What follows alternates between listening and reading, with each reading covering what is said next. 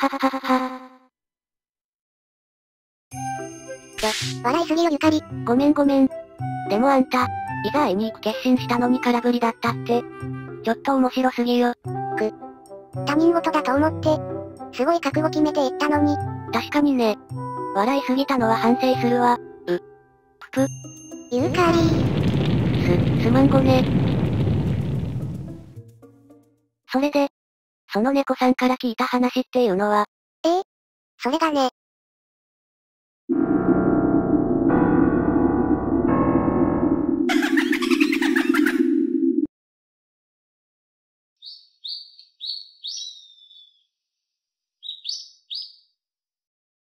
ということらしいわ。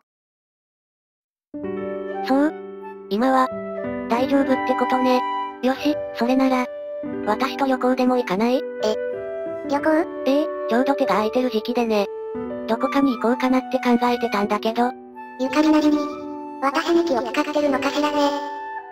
わかったわ、それもいいかもしれないわね。了解、さて、ランちゃんに明日お休みする連絡を入れないと。明日って、もしかして今日から向かうつもり？そうよ、思い立ったが吉日っていうしね。大丈夫なの？仕事とか？うっふー。優秀な部下がいるとね。便利なのよ。あとは、そうだな。そうだ、せっかくだし、予定が空いてるならゆゆこも誘いましょうよ。会いたいし。そうね。それがいいわね。うっふ。そうだ。どうせなら、ゆ、ゆかりさん。なんか顔が怖いですよ。ウェッウェッウェ。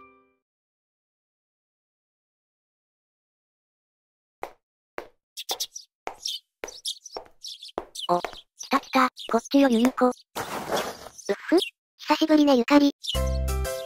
今日は誘ってくれてありがとう。けど、ちょっと急すぎよ。ヨウムちゃんに怒られちゃったわ。悪いわね、忙しいところ誘っちゃって。なーにそれ？私が毎日のんびり過ごしてるの知ってるでしょ？そうだったわね。でも、そんなんだと退屈しない？まあね、けどたまにこうして友人が誘ってくれるだけで。私は嬉しいわ。今日はどうしたの？何かいいことでもあった？そんなとこよ、ささ、後ろに乗って。はいはい、せっかちねー。もう。あれゆかりも後ろに乗るの？お客さん。どこまで行きますか？へ。これってタクシーじゃ。あ、あ、あ？あ久しぶり、ゆゆこ。え、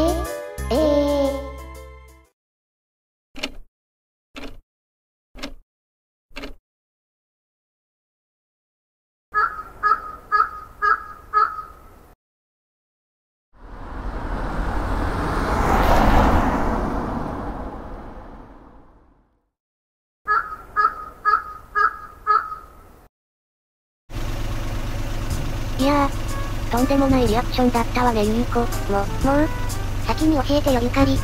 嬉しかったけど、心臓が止まるかと思ったじゃない？そ、それは、うん、やめとこ。ふ、ゆゆこなら期待通りの姿が見られるかと思ってね。まったく。それで、もうレイムちゃんには会ったの？い、いや、その、ちょっとタイミングがね、何？どういう意味？ふ、それがね、聞いてよゆゆこ。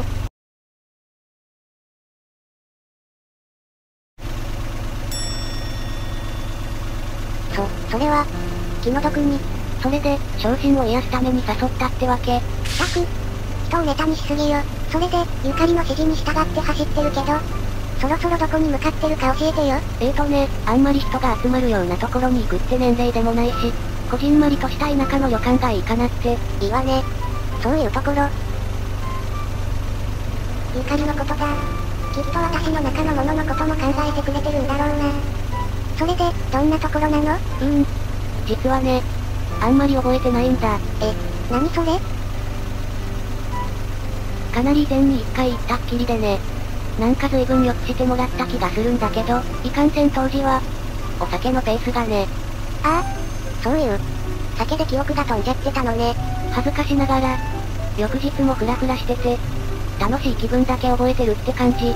もう一回行きたいと思ってたんだけど、仕事や子育てでなかなかタイミングがなくてね。それで、今回ちょうどいいってなったのね。そういうこと、付き合わせて悪いわね。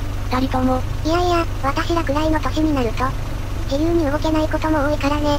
ありがたい話だよ。うっふその通り、友達って、いいわね。何恥ずかしいこと言ってんのそれじゃあ道案内よろしくね。はーい、任せなさい。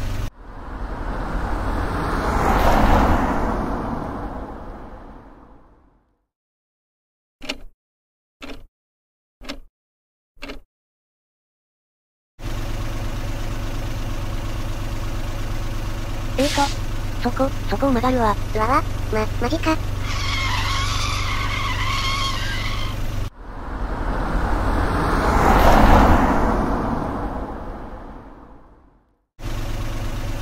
び、びっくりした。おいおいゆかり。もう少し前で教えてちょうだいよ。ご、ごめんね。いかんせん記憶がね。ゆかりももう年だからね。ほら、みんな同じでしょ。へへん、私の方が数ヶ月若いわよ。な、なんて低レベルな争いを。あ。でもそうなると、一番つけてるのはゆうこか。な、なななにを。どうどう。それで、あとどのくらいで到着予定なの？もう少しよ。あとはこの道を進むだけだったはず。あいよ。しかし、随分悪路よ。うーん。こんなだったかなまあ、あの頃とはもう違うのかしらね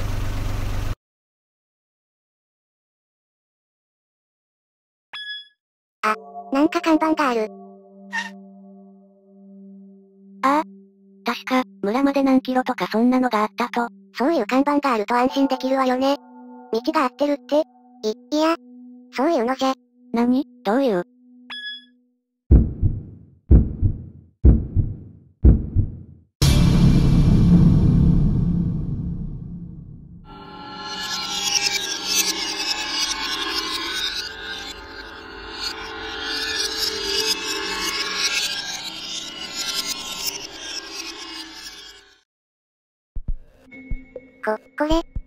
て読むの？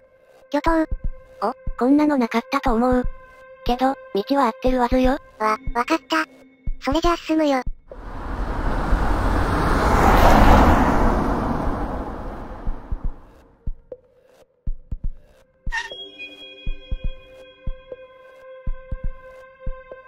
ね、ねえゆかり。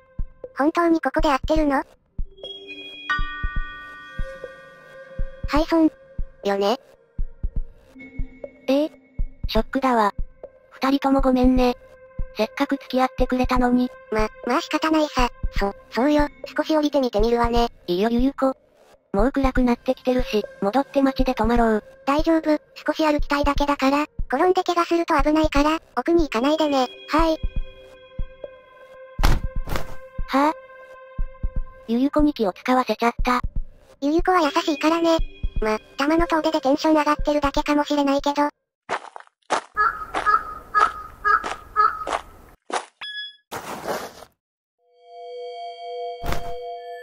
なんだろうこれ。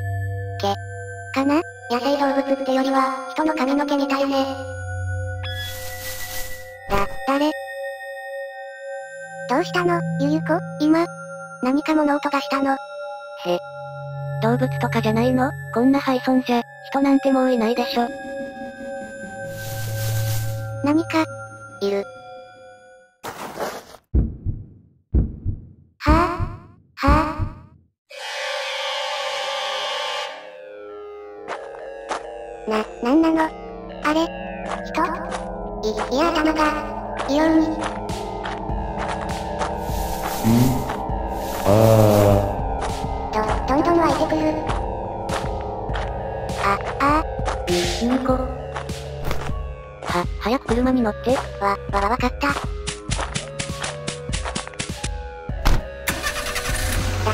捕まって。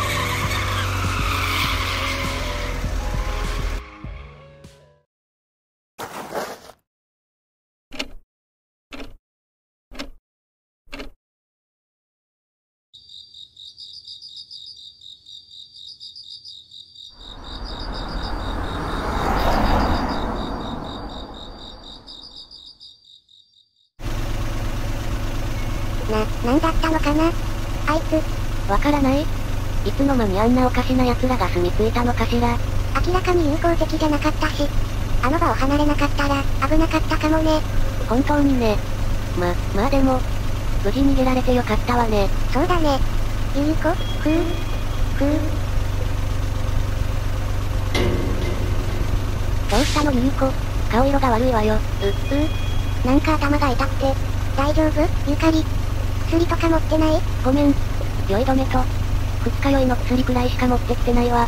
そうゆゆこ、町まで我慢できそう？ふうふう、まずいわね。意識が。ゆかり、あそこに民家があるわ。ほんと、薬があるかもしれないし、ゆゆこを休ませたいわ。お邪魔させてもらいましょ。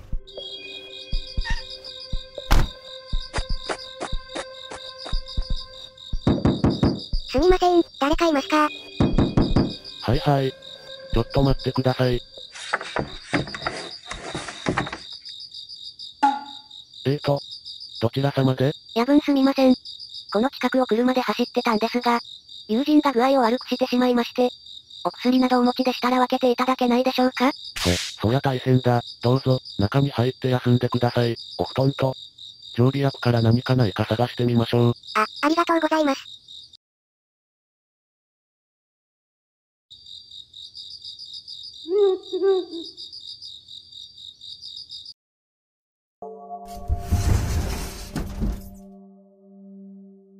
ゆゆこの調子、どうだった？お薬の影響かな今は寝てるみたいね。さあ、これでも食べてください。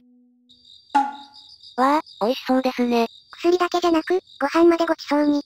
ありがとうございます。本当はゆゆこがこういうの、一番喜んで食べるんだろうけど、そのゆゆこさんには、体調が治ったら食べてもらいましょう。きっと、すぐに良くなりますよ。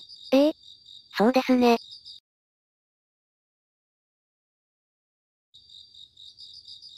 はあ、美味しかったわ。ごちそうさまでした。はは、こんな田舎にはなかなか人は来ないもんでね。お口にあったみたいでよかったよ。ところでお前さん方。どうしてこんなところに？この辺にはあまり遊びに行くとこもないと思うんだが、実は、昔宿泊した旅館に行こうと思ってきたのですが、すでになくなってしまったようで、引き返す途中だったんです。はあ、旅館なんてあったかな？この先しばらく進んだところを、脇道に入っていったところなんですが、えーと、木の看板があるところ、お、お前さんたち。も、もしかして集落に入ったのか？集落？ですか？まあ、確かに集落だったわね。廃村って感じだけど、そ、そこで何か見なかったか？え、ええ信じてもらえないかもしれませんが、巨大な頭のおかしな連中を、ああ、なんという。見てしまったのか？なら、ゆゆこさんは？あ、あんたたちは何ともないのか？え、え特に隊長は、ゆかりは？私も大丈夫。何もないわ。そうか。よかった。しかし、まさか東京様が、えーと、その、東京様って、何ですか？そ、それは、説明してください。お願いします。わかったよ。ただ、説明は後にさせてください。東京様が原因なら急いで対処しなければ、わ、わかりました。それで、何をすれば、少し、席を外します。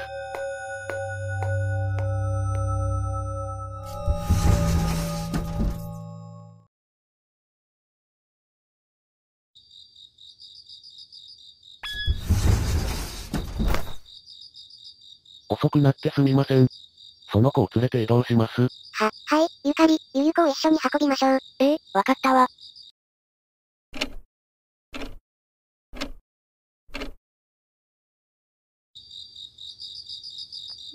こ、ここは、古い。お寺かしら？ゆゆこさんを本堂に運びましょう。そこでお祓いをしてもらいます。行くわよゆゆこ。気を強くね、うく。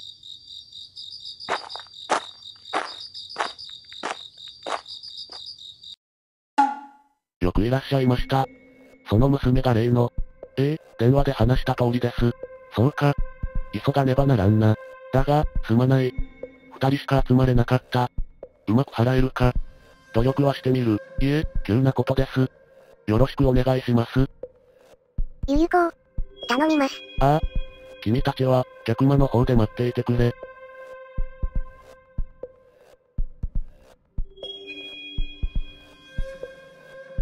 結構、時間経ったわよね。ゆゆこ、大丈夫かしらね。きっと、きっと大丈夫よ。そうよ。あのチャランポランお嬢様のゆゆこにもしもなんて、絶対ない。ああ、ああ。今の声って、ゆ、ゆゆこ。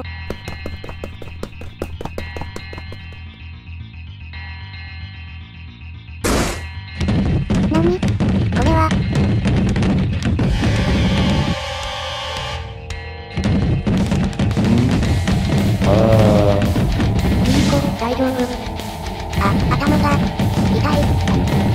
やはり二人では、ゆ、ゆ、ゆかり、行くわよ。あ、そうね。おー。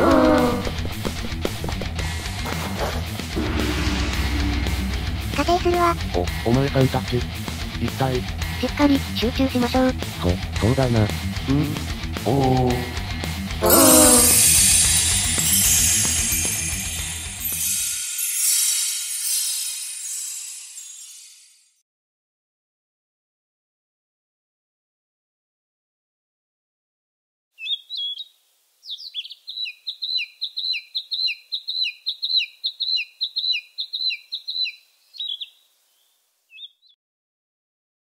えーと、体調はどうですか？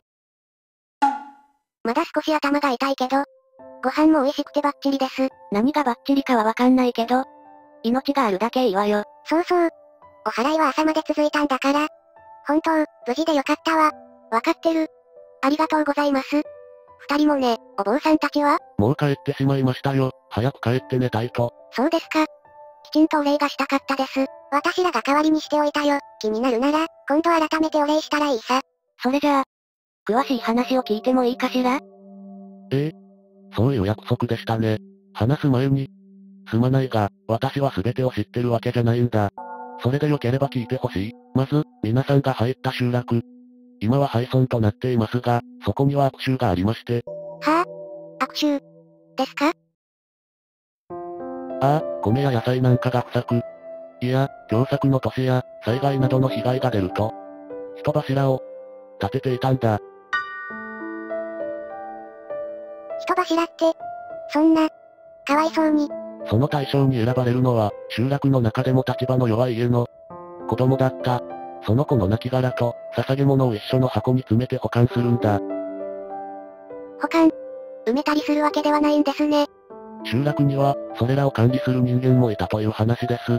さらには、ただ保管するってだけじゃなく、その人柱が一定の周期、週、と呼ばれる期間があり、その週が来ると詰め替えをするんです。そうしなければたたりを引き起こすそうで、その奇襲っていうのが、人柱ごとに違うので、管理をする人間が必要というわけです。つ、詰め替えっていうのは、何を、文字通りだよ。新しい箱に中身を入れ替える。それでな。その時に中身を確認すると、どの人柱も例外なく、頭が異様に大きくなっているんだと。髪の毛もボサボサに伸びてな。そして、その姿の人柱のことを、東居様、や、お東居、と呼んで祀るんだ。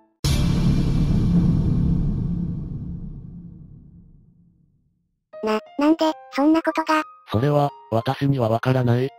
すまない。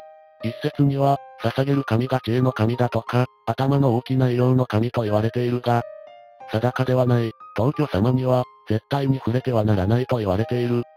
触れるとその怨念にたたられるのだと。で、でも、ゆゆこはあいつに触れてなんかいなかったわ。それに、私たちが見たやつに髪の毛なんてなかった。それなんだが、実はその東居様を管理していた場所は、災害による土砂崩れに飲まれ、亡くなってしまっててな。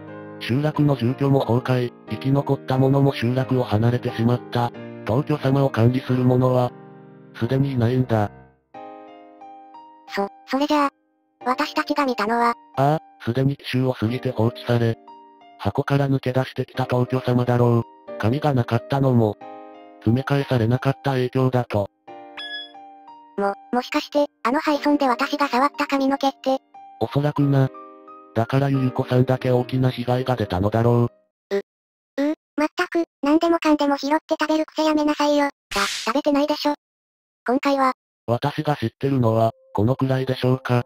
実は、私、ずっと前、話からすると崩落前にあの集落の宿に泊まりに行ったことがあるんです。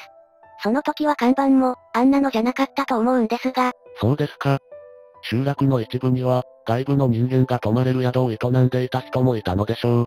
東居様の管理は、目立たないように集落の奥地でやっていたそうですし、看板についてはおそらくですが、土砂崩れ後に集落を離れた人の誰かが、信仰やせめてもの供養の意味もあって、忘れないようにと記したのではないでしょうか。もしくは、以前にゆかりさんが見たという看板とは、別な場所に迷い込んだか。うんでも看板には、巨頭をって、ゆかり。右読みよ。どういう、あ、あ、そういうことか。ご、ごめん。私だけわかってない。東京様は、お東京とも呼ばれてたのよ。あとは、古い人は右読みを使っていた。はあ。な、なるほど。ちょっとすっきりしたわ。まあ、ただの想像ですよ。もしかしたら、村を見つけた人が、別称でつけた巨頭村の、村の字がかすれただけとも考えられますしね。